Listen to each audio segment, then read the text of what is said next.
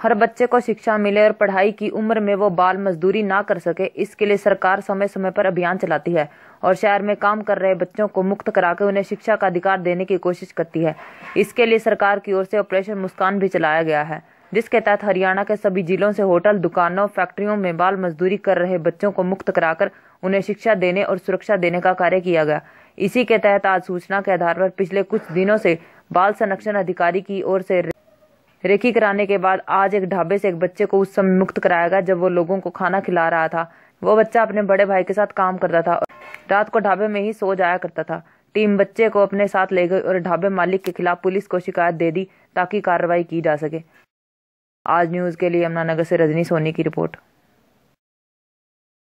Please हमारे channel को subscribe करें और देखी गई वीडियो को लाइक और शेयर ज़रूर करें।